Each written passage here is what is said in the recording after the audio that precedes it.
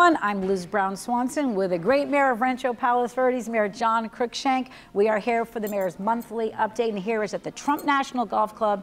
Doesn't get any better than this. We're looking at the ocean right now, golfers, and and it's another great day in RPV. How are you doing? Well, I'm good. And of course, as the sun is starting to poke its head out of the clouds, it's always great to be here at Trump National. Of course, you just met with your committee and commission chairs, the volunteers. Every month, you have your mayor's breakfast so much to talk about with everyone in our community right now as our city has the ongoing state of emergency still with the Portuguese Bend landslide complex area. And hopefully the rainy season is slowing down because the rains have really affected the landslide. You're going to give us an update just starting with the impacts we're seeing and how we're dealing with it as a city. Well, you're absolutely right about our uh, the people that run our commissions and our planning, uh, planning commission and our committees. They are busy. Mm -hmm. And there are a lot of issues, but of course, as you mentioned, the landslide issue is the number one priority.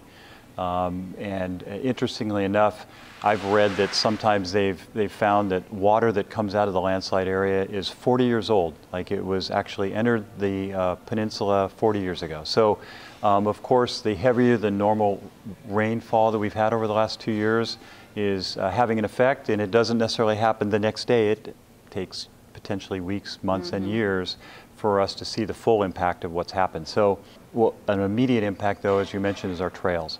We have eight miles of our trails that are currently closed. It's certainly a safety issue. Um, also, as a safety issue, a lot of these roads are used for emergency access, and those have actually been closed as well, which creates more of a threat for all of our residents on this side of the hill. Um, we do have our recreation and park staff. They continually work with the Palos Verdes Peninsula Land Conservancy to try to get these trails safe and reopened, and they are working to do that.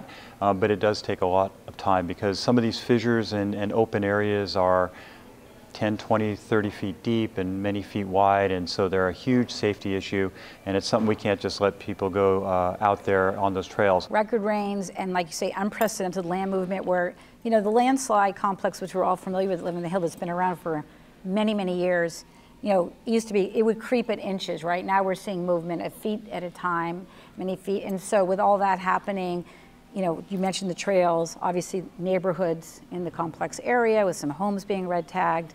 Um, and then you've got Palos Verdes Drive South, the road is being impacted. Um, but you're working on it as a council, you know, fast and furiously, as fast as you can go in government, yes, yes. Um, to get the funding, to get it happening, and to in, do these mitigation measures, which is what I want to talk about next.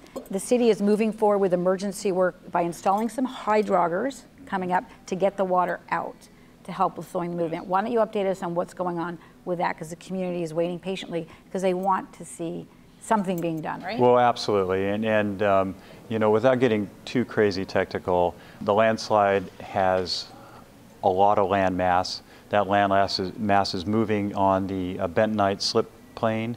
And uh, what causes that is a few things. As the friction becomes less, and in other words, it has more of an ability to slide, and it has more weight because of the water, that's the reason you want to have hydroaugers. Hydroaugers are very different from what we can know about water wells, which are typically drilled vertically right into the earth. Hydroaugers are actually horizontally drilled, and they're not just a direct horizontal, but you, you can direct them in different directions. And the ones we're talking about, there's not just one drill hole, but there's five. Okay. And so those five kind of, they finger out into the, into the earth, and uh, what they're basically doing is drawing water out, trying to use gravity, uh, and by drilling the hole, putting in perforated pipe, and that perforated pipe starts to pull water out. And so that's the whole idea is to, to reduce the water table, to pull the water out, to take that weight off the landmass. And we have two of those planned right now. Right, and when you talk about the landmass and the landslide complex area, there's three landslides we refer to, Portuguese Bend, Abalone Cove, Klondike Canyon. What we want to do is the landslide itself the, has increased in size. And it includes all three of the landslide complexes mm -hmm. that you mm-hmm. just said. So the the two emergency hydroaugers, we'll call them, because ultimately there's going to be more than two. The two emergency ones are ones that are going to help alleviate the pressures on all three of those. Right. And so um, they are being pulled from that project we had that was has been developed years ago mm -hmm. so that we can get something done now so that we can start alleviating that pressure. So it'll help actually help all three of the landslide complexes okay. and that's the goal is to alleviate that for all the residents out there. And, um, and to do something now, one thing that's been going on with this council back in October declared the state of emergency. Um, and now we've got the president involved and a federal declaration. Talk about the impact that's going to have that from, you know, this is not just RPV's issue, it's really the whole community at large and, and everybody's issue. So um, what's going on with the federal declaration, how that's going to help us with funding and getting things done to resolve this. Right. Well, you remember back in February, we were uh, on the news a lot. We were talking about uh, requesting for the governor of California to declare our landslide complex an emergency. And what the governor came back and said, it's already covered with the emergency he declared for the counties, Los Angeles County being mm-hmm. the one we're in. What we uh, were told by the governor is that uh, in order to get some uh, immediate relief, uh, he's going to request, and as long as the dollar amount within LA County is enough, he would be able to go to the President of the United States and ask for a, a declaration of a federal emergency, and uh, the President Biden has done that, which actually is really good news um, for the city of Rancho Palos Verdes and for the two uh, landslide abatement districts, because what that allows is to uh, for anything to for mitigation uh, for what's happened and to fix what's occurred, we'll be able to apply for funding um, only public agencies, which are the two uh, landslide abatement districts and the city, are considered public entities. Mm-hmm. Um, unfortunately, it does not include private residents, but uh, what we're trying to also do is still continue to go through Los Angeles County uh, Office of Emergency Services, and uh, we believe that there's going to be an opportunity to get some relief for our private, private uh, residents as well. Excellent. A lot of those residents were at a recent town hall meeting the city just had. Um, it was really important. You brought a lot of stakeholders together, as well as the experts, geologists for the city, um, staff, our public works director, and the community to like talk about what is going on. Tell us about that town hall meeting, what was accomplished, and your message right now to residents that are worried about, you know, that, about what's happening to their homes. They're worried about driving Palos Verdes Drive South, all those things. Right. And, and the list of those things could go on forever. And, and because it is, it's a complex landslide, it's a complex problem. And you have people that live in the landslide area, and you have tens of thousands of our residents that don't live in the landslide area. And everyone has different knowledge of what the landslide actually means to them. Um, and everyone obviously is in different levels of stress with that. And we understand that. Um, we had three hours at the new Ladera Linda Community Center to um, not only explain who's working together and how it all works, but to discuss the landslide, how we kind of got to this point, and now, most importantly, what's going to be done and what's planned to be done. And so that that's what we accomplished. Um, our goal, there was a number, unfortunately, we didn't get to the question and answer as much as we wanted to because we had a few technical difficulties. Um, but all those questions that were asked by the community are going to be responded to by the city manager and the team of experts, including our public works director, Ramzi Awwad, mm-hmm. uh, to make sure that all those questions are addressed. Um, and probably by the time this airs, there'll potentially be that landslide town hall uh, put up on RPV TV for people to watch. Um, one thing, though, we want to that really seems to be impacting thousands of people on a daily basis is Palos Verdes Drive South. I think there's 15,000 cars a day that cross. Here we are off, you know, off PV Drive South now. Um, about a few weeks ago, whatever, it felt like they really, the, that ski jump, as they call it, was looking good, and then it split open again. So what's happening there? How are we addressing this? Because it just keep throwing money at it, and the road keeps splitting. And what are we? What's happening next? Well, I mean, anyone that's lived in Rancho Palos Verdes for any amount of time, which is most most of our residents know that every year there's been issues. And every year the city spends roughly a million dollars a year repairing that. So it's not a new issue, it's just the last couple of years has just been a lot worse. And like you mentioned, they just fix it, and then a couple days later it's, it's pretty bad again. So um, at this point, now we're just kind of chasing our tails. Right. And so there's some uh, other engineering ideas uh, potentially that we can utilize more of a temporary surface that can be moved along with the foam movement. Blocks. Foam blocks. And so in order to uh, do that, and they, they would have the strength of you know, any type of road, so there wouldn't be that issue. And they could be moved uh, so that and reformed a lot quicker so that we could keep the road open quicker and not have this ongoing repaving that continually just gets destroyed over and over again. So there's going to be a time very soon where there's maybe some road closures, uh, maybe some rerouting of Palos Verdes Drive South in the landslide area, but ultimately we want to have it so that it, even with all this movement, and like we talked earlier, it stopped raining, but the movement's going to continue for a while Right. because that ground is saturated. Yeah, and one of the one of the um, unfortunate situations um, that we've seen is with Wayfarers Chapel, the impact on the historic landmark in our city. Um, and just recently, the city did end up having to red tag the Wayfarers Chapel's what used to be the visitor center, their administrative offices, but the chapel hasn't been yellow or red tagged. But as a community, we're all we all feel for them, and um, the, now they're temporarily the congregation. The Wayfarers are meeting in um, Estates at St. Francis, but there's been talk that, that maybe this historical landmark is going to have to get dismantled. I think it's not official yet, but I think we're just. What's your thoughts as mayor when we see what's going on there, and and the hope that this chapel somehow can still be saved? Well, I mean, the very first thing is is that Wayfarers Chapel needs to reopen in, in some form that's uh, they feel is safe and and uh, because it's a huge part of who we are. And so um, I know our city is always uh, uh, there to help, whatever that means, whether it's um, you know, helping them with permits to move or whatever that is. But I know that um, our neighbors, Palos Verdes Estates and the church there are, are, have stepped up to help with their congregation. I know that a number of uh, private uh, resources through our city want to help. Um, so we're there to help them. We want to see them open, reopen as quickly as possible.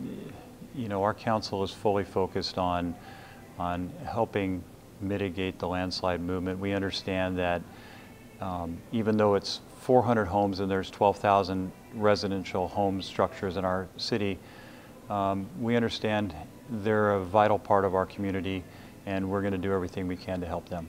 Moving on to another massive topic, it's the city's housing element update document that's required by our state that shows how we're going to be dealing with housing um, needs in our community across all income levels. This has gone on for years. You're working on what's called the sixth cycle of the whole process. Why don't you explain to the community? Um, you had a, I've never seen so many residents come to a council meeting as I did at your last meeting um, in April, and uh, people are concerned about wh- how we're addressing housing and, and getting that plan to the state and approved, and that's what you did. So, kind of give us the whole background and what's going on there. Well, yes, that meeting, we literally, the entire council chamber was full and the two overflow rooms were full and people were parked up on Hawthorne Boulevard, which is something I had never, ever heard of. So um, yes, it's important and people should be concerned about it. Um, It's not something that just happened overnight, like you mentioned. These are eight-year cycles. We're in the sixth one of the eight-year cycle. The only difference is this current sixth cycle is asking us to do 647 housing units. Um, and these are, like you said, all income levels, but the 647 are primarily moderate to low income. And so um, these aren't just market rate. And so for it to, for a developer to pencil out a project, they're not just putting in low or moderate income, they're putting in market rates. So we're talking many, many more than 647 units. So it's a very important thing. And of course, the state has, they, you know, they always say use the carrot and the stick. The state is not all anything about carrots right now. It's all stick, and the stick is this builder's remedy. And so there's uh, projects that are proposed uh, that are just well beyond what we've ever seen in our city. And so um, you have a lot of people that understand the importance of passing this housing element and rezoning, so that the the housing authority up in California, state of California, deems our housing element in substantial compliance. Once they deem that and we get a letter saying that, then there can be no more builder's remedies that we're talking about. Um, so uh, there are some builder's remedies that are currently in the system, and those do need to be processed. And in terms of their applications, and all those still have a lot of discussions in front of them. Right, right. Um, and but all we did, we weren't approving any projects the other night. We were actually changing our zoning in certain locations, and we were approving our housing element, and that's it. And so we actually also passed an urgency ordinance so that we could get that post haste up to the state of California, and not wait the typical 60 days or so that we would have to. Right. And so again, so that our community understands what you are approving is to show, again, that we can provide for these, this types of housing and have the zoning to accommodate it, but it doesn't mean that necessarily you have to build these projects. Currently, that, that is actually correct. We're not the only city on the hill without their housing element approved either, for example, right, like Palos Verdes Estates. So, yeah, so Rolling Hills and Rolling Hills Estates both have approved housing elements, and, and unfortunately for Palos Verdes Estates, they're also working on theirs, and they're going to try to wrap theirs up this year. So just to clarify with the community, the next steps and what happens next, and also a little bit more detail about how those districts work out for rezoning. Yes. Um, Well, first of all, um, the next thing is that the, our past housing element and also the rezoning, that all went up to the state. Um, They've already reviewed our housing element and said that, you know, they have no more comments, technical comments. Okay. And so the hope is, is that, and, and they have 60 days to review that. Um, We hope they don't take the whole 60 days, but we, we believe now, because we passed our urgency ordinance, we believe that we're in substantial compliance. And so um, we want, we're cutting off the builder's remedy. Um, We're still have to go through the formal processes, but uh, that's where we are right now. There's a lot on your plate between the landslide and this. Um, I was also at the, um, the last, it's really, I think, watching the council meeting, you learned a lot about what's going on. There's 31 sites that have been approved for like rezoning, right? So talk about how that all comes into play and, and what the impact that will have. Right, there's 31 uh, sites that are included in the housing element.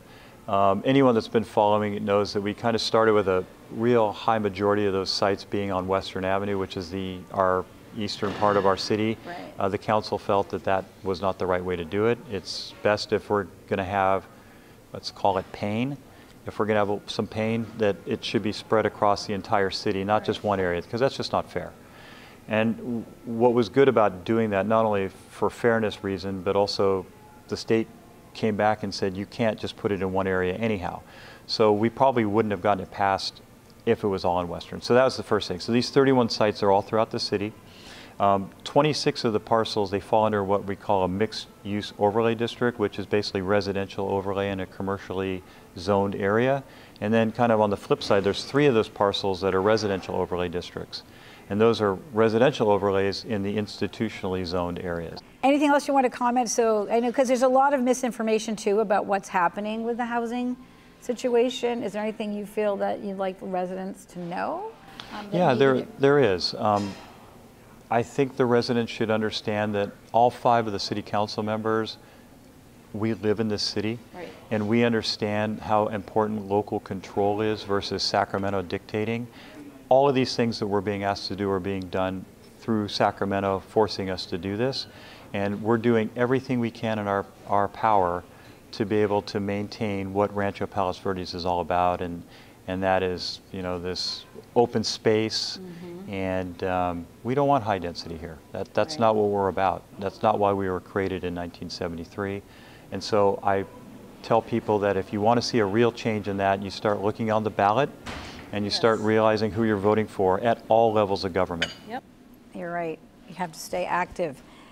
We're gonna, you've been very active as a council. I think this week alone, you had, you know, city council meeting, you had the town hall, you had a budget workshop, here we are, your mayor's breakfast and now our city talk show. Um, Tell us about the budget workshop. Oddly enough, I'm going to say that was the funnest part of the week. um, so, Talking money. yeah, right. No, we well, and it, it would be bad if the money wasn't good, but fortunately, we have um, an amazing finance advisory committee. We have a, a fantastic uh, staff, a finance de- department staff that uh, really understand the priorities and how to make sure that our revenues, in other words, the amount we bring in, is always more than what we're spending. Right. I mean, it, that, that a third grader can understand that if you explain it to them. Yes. Um, and, and our city does a great job of that. And not only that, uh, they, they add to that the reserve. So you start looking at the actual figures. Um, the anticipated revenues are going to be roughly 38.8 million, and the operating expenditures are supposed to be around 37.6. So you can see there's a slight difference. Um, our revenues have increased modestly, and um, our expenditures actually have reduced a little bit, which is they're both going in the trending in the right direction. Um, going back to the landslide issue, though, these are huge capital improvement projects that have huge expenses to them. And so upcoming, and we'll, I know we'll talk about that. CIP workshop coming up. You have more more uh, ways to talk about how you're going to spend money on April 29th, looking at um, uh, public infrastructure and facilities and what's on the horizon for the city. Anything you want to note? I mean, the, it's the public meeting on April 29th. Well, it's a, there's a five-year capital improvement plan that we put together, although we look at the capital improvements every single year um, because, you know, priorities do change.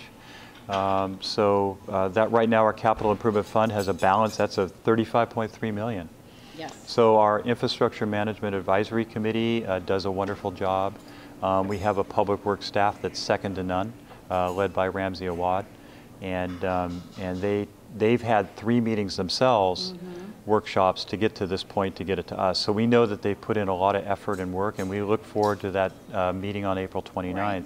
Obviously, the city's top priority, like you're saying, is the landslide, but you're talking about roads, sewers, buildings, parks, all that stuff. So there's going to be some trade-offs where you can spend the money. Well, right, and I, you know, we talk a lot about the landslide, and it is top of mind, but I want all of our residents to know that infrastructure is not something you could just set aside and then hope it self-heals. It's, it, it doesn't. You, you have to continue to maintain it. That keeps the cost down uh, in the long run because a well-maintained road or sewer system, not only is it working better, but when it's maintained, it doesn't start to fall apart quicker, and so the costs will be maintained at a, a better rate for years to come. So we understand that. We have maintenance programs for all of that, and um, so we haven't forgotten about any part of the city. Um, we want to make sure everything works so that no other people have any issues down the line. Right. One thing we know is going to work out, we, we expect, is Whale of a Day has, was rescheduled, uh, long awaited. It's going to be the 39th annual. It got postponed because of weather.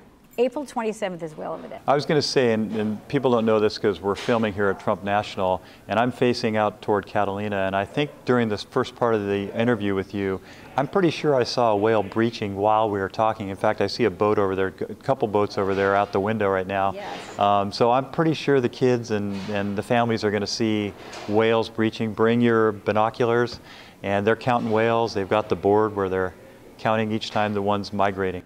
We, we always love that. I think the uh, whale was waving uh, the tail at you to say thumbs up. Is that what that was? Yeah, That's yeah, awesome. Yeah, tails up. Tails but up. There's yeah. Go on whaleofaday.com. Like you're saying, it's a fantastic, um, beloved community event celebrating the migration of the whale, and um, I'm expecting that uh, we're going to at least be seeing a few that are they just love to come by. It's the perfect spot to come up the coastline and. Uh, As mayor, I'm predicting a perfectly beautiful sunny day, and everyone should come out, participate. Yeah, And on the subject of participation, I must also forgot to mention the RPV Leadership Academy is in full swing, and you are attending that. Really amazing opportunity for residents to uh, come and learn about what it takes to be a leader. Liz, did you ever go to that? I did. I did it with uh, my husband Don and I took together, and then of course he ended up on the Infrastructure Management Advisory Committee after that. It's amazing just to see how government works. Um, you were already a speaker at one of the meetings. I, I did. I was at opening night at Ladera Linda Community Center. Um, I understand they're going to be taking some field trips and Yes. seeing different things within. They'll meet all the council members. Um, and, and more importantly, the council members really are our city staff and department heads um, talking about what they do because each department does something so unique, but then they also all work together to make our city the wonderful place it is. And so I think there's 25 people that attend. Um, unfortunately, it started, so if you want to do this, which I recommend to everyone, Stay tuned for 2025. And I understand that the uh, founding mayor of our city and founder Ken Dyda was there. So Right, and, and what was awesome about it is uh, Ken talked about whole, the whole creation of our city and Save Our Coastline and the work that, that he and many others had done to, to get us to the incorporation in 1973. And uh, Ken Dyda is an inspiration to all of us. And I understand our today's cameraman Jeff Coven was there filming, and he told me he's going to be filming all these uh, meetings. So we think we'll maybe see them on RPV TV for that information. Well, I'm pretty sure our friend Jeff, I'm pretty sure our friend Jeff knows a lot about our city. One day you should interview him yeah, and get he- his maybe he'll end up on on it. a committee or commission. he has to move to RPV though, right? That's. and oh, he doesn't live in RPV? No, no, but he, no, he used to, right? I don't know. We're- Okay. We're talking off camera. now. The one thing I wanted to say is to, about information on the Leadership Academy, um, and all this again on the website. And I know if you're interested in being on a committee or commission, they're still top, taking applications. There's a cutoff Yes. in May, so uh, just check that out and um, There, there's actually an opening in every one of our Yeah. committees and our planning commission. Yes, so lots of ways to get involved. Um, I think we kind of jumped around. We, we're at the end of this show. Any final mayor's announcements that you want to promote right now um, as we wrap it up? Uh, a few things I want to talk about. Um, first of all, just so people know, I, I and the other three mayors on the peninsula, we do meet every month to have lunch and talk about common issues and, and things to share thoughts. Uh, we really do look at all four cities on the peninsula as, as one many times, um, and we share those ideas. I, I was just in Torrance um, providing a commemorative uh, certificate to outgoing council member Mike Griffiths. Um, and he, he's been a, a long-standing Torrance council member. Um, once again, Torrance is a great friend of Rancho Palos Verdes, but important also is that Mike's fighting for local control, and so uh, the Save Our Neighborhoods group, and, and uh, he, he's been instrumental in a lot of these things. You know, so we really wanted to give him a thank you for that. Mm -hmm. um, on, a, on, a, much sadder note, of course, we lost one of our, our lieutenant, uh, uh our deputies actually, uh, Dan, Daniel Okamoto um, tragically lost his life, and, and so that, that was a real a blow to our community. Um, and we, uh, of course, he's survived by his grandmother and parents and, and his brother, um, but we're keeping him and his family uh, in our thoughts and prayers, and, and that was really tragic. Um, you know, not as tragic, but there was a small plane crash that occurred uh, right off the coast here off of Trump National. Fortunately, that was a happier ending um, in, in, terms of that. Um, I believe that uh, both the pilot and his dog were able to swim uh, to safety, which yes. was good. You're probably showing some yes, video we have footage. footage we're going to show now of, of the plane that was going into the water, and then I hiked down uh, the following day, and the plane is washed ashore and, and got some footage that we're sharing now. But what a, an amazing mm. outcome for that pilot and dog um, to have been okay, and um, you know, uh, just uh, amazing, really a miracle that yeah. you can survive that. I'd like to also mention um, we did have a fire in Lomita, but it was one that was witnessed by many of our East Side residents uh, mm -hmm. down at mm-hmm. Vista Verde, which is a you know Lomita is a, a very close neighbor, and that that was a large structure fire, uh, multifamily residential, and it was in 16 units were lost there. And, yeah. and but I will give our Los Angeles County Fire uh, Department a lot of credit. Um, our interim chief, Brian Kane, came to our city council meeting and talked about the entire incident and the challenges that, that he had. Um, it was a fire started uh, in a microwave right. um, during dinner time, and um, so we want to stress the importance of not only calling 911, but knowing where you're calling from and the proper address because there was a little bit of a delay because the, they needed to coordinate exactly where the, the fire was. Um, and so we want to make sure that all our residents know that if you're calling 911, uh, you know the address of where the location or just call straight to the sheriff's or fire department and just make sure you have enough details to get the response you need. Yes, yes. Um, and with that, we're going to wrap it up. Again, I want to send my condolences as well to um, Daniel Okamoto's yes. family, and um, we'll close the show in his honor and to all, everyone that's serving our community. We can't say enough, including you. So yeah, with that, you. we'll be back in a month again with your update. That'll do it for this edition of RPV City Talk from the Trump National Golf Club. Thanks again to the Trump team for um, hosting us here, and we hope you all have a safe and happy day. Thanks for tuning in.